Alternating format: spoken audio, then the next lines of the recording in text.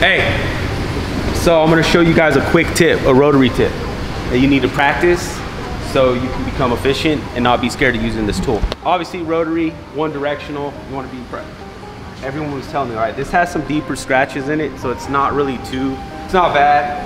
Obviously, of course, you know, these little, you know, they're not really that deep, but mainly I'm not really gonna focus on that. I want you guys just to see a basic technique that what we do, you know, to get comfortable with this. So same thing, you wanna, you can go ahead and applicate on your pad, but we're not really even worried about that. We're not gonna talk about priming, we're not talking, this is one technique that you need to know when you're using a rotary. When you're cutting, so this is an efficient, this is a cutting technique and not a finishing technique. So the cutting technique would be obviously you wanna have your, your compound easy.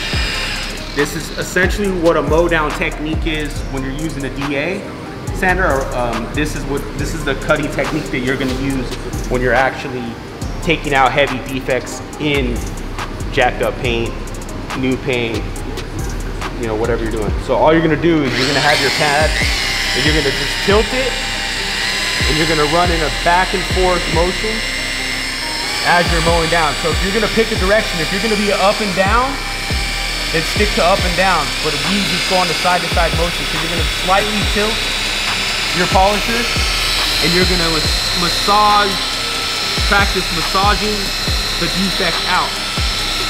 So that's the only technique that you need to know when you're getting into polishing with a rotary. So like I said, this is this technique right here is an actual defect removing technique. So this is, the, I would say, one of the first techniques that you need to learn and then move on from there.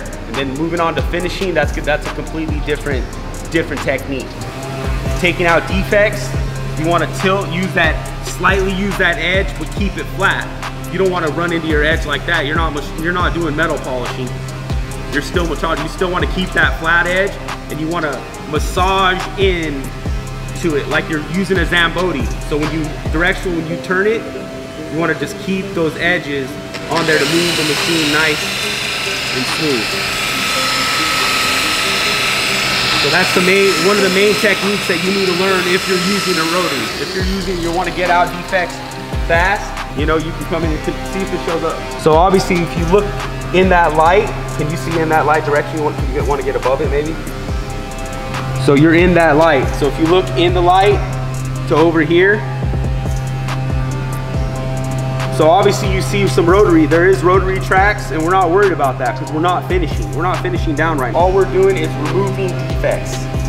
When you're using a rotary as the tool of a defect to remove defects, that's the technique you want to use. The key is moisture too. You know, you don't want to you don't want to use do anything dry. Moisture is key.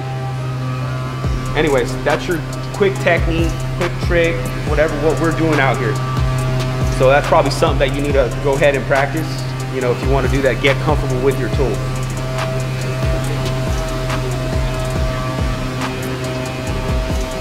Anyways, that's what we do out here. You know we do, bumpers, dance, interiors, PDR, we do it all. We're real life detailers out here. We're the Shine guys. Watch, like, subscribe. Thank you guys for watching.